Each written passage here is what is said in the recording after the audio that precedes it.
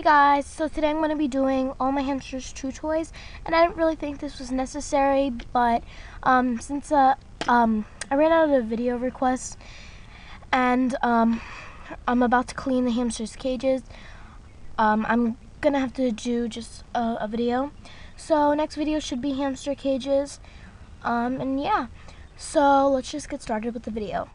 The first chew I have is from the Ware um, thing. I had two of these and had like a stick in the middle. I have some puzzle pieces, some more puzzle pieces. I have some bag of chews, um, more bag of chews. Um, these are the apple wood sticks. I have some like sticks or whatever. They're from PetSmart.